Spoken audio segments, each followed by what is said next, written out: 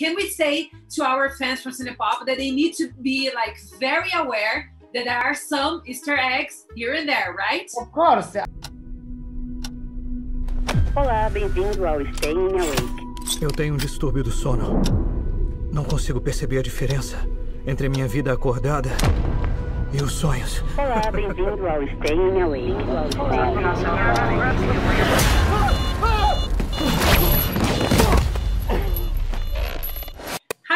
How are you? I'm okay. Nice to meet you. Oh, it's such a pleasure to meet you. I have to say that I loved your work in Moon Knight is extraordinary. And I wanted to know from you how challenging was it to create this, all of those sets, and was the most challenging thing in this process? Uh, I love your shirt, by the way. Thank you very much.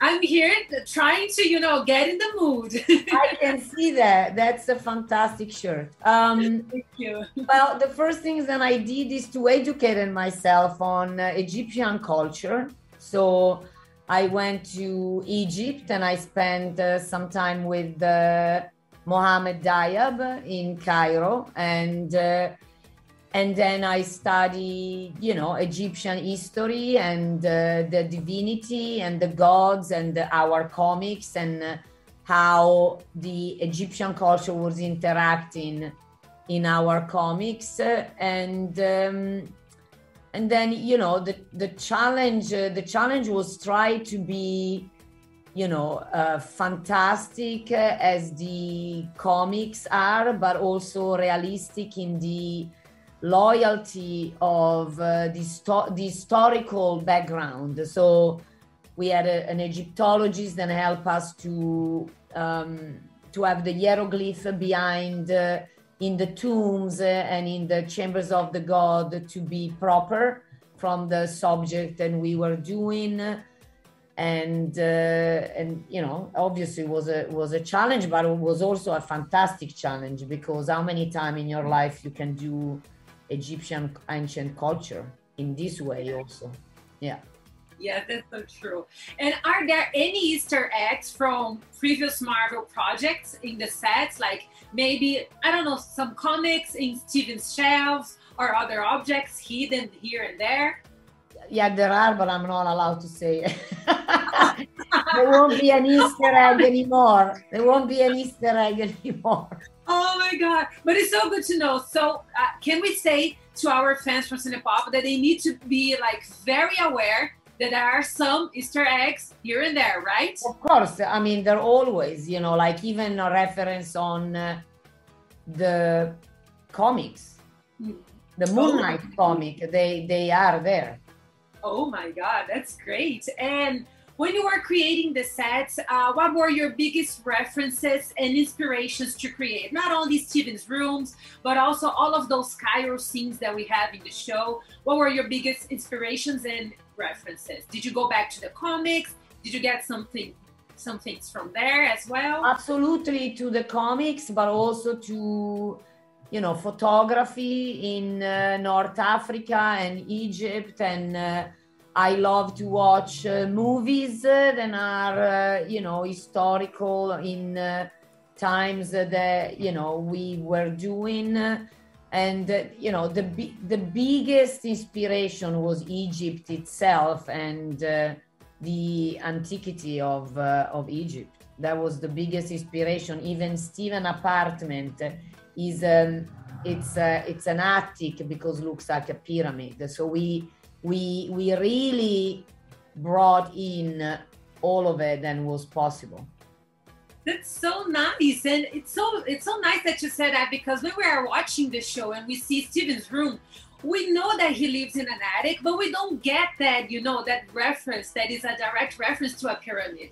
This is he's so in, nice. he's in a pyramid Yes, amazing. This is so nice. That's what I love about production design. is one of my favorite things when it comes to movies and TV shows. And I am in love with your work in this show, especially in episode four, because in episode four we have like these amazing Egyptian ruins. And I wanted to tell me a little bit more about that set, because that set is a it's a very complex set, right? the, la- the last tomb or all of the tombs Yes, on the tube. All everything about that episode. We have uh, we have the Herald uh, Clinic at the end of the episode four, and we also have all of those Egyptian ruins, the tomb, and etc. Right?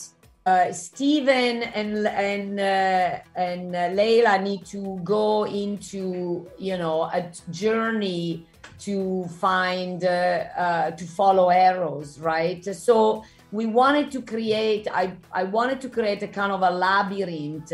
which comes again, the inspiration comes from Egypt because pharaohs used to bury themselves into chambers that had a lot of exit and entrance to deceive the, any um, anybody that wanted to try to enter and suck the tombs.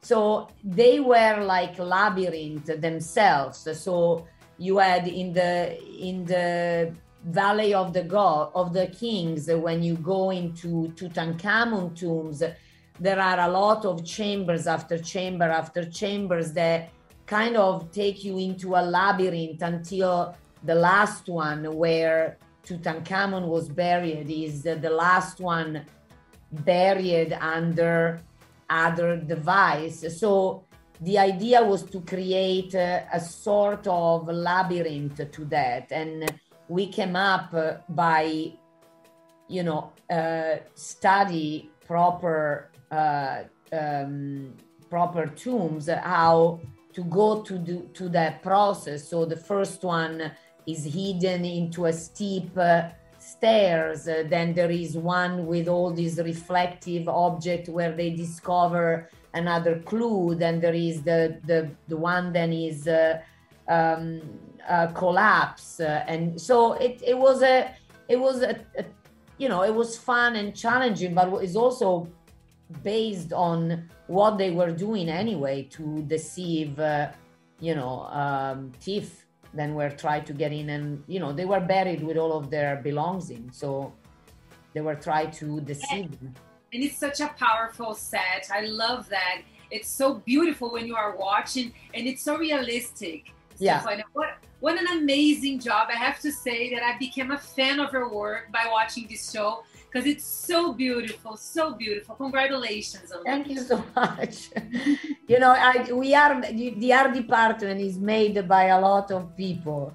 And I'm just very lucky to have a lot of people that are very good working with me. It's not just me, but thank I, you. I know. And you and your team are like are amazing. Congratulations to you and all of them. And thank you once again for this amazing opportunity. Thank you. There's chaos in you.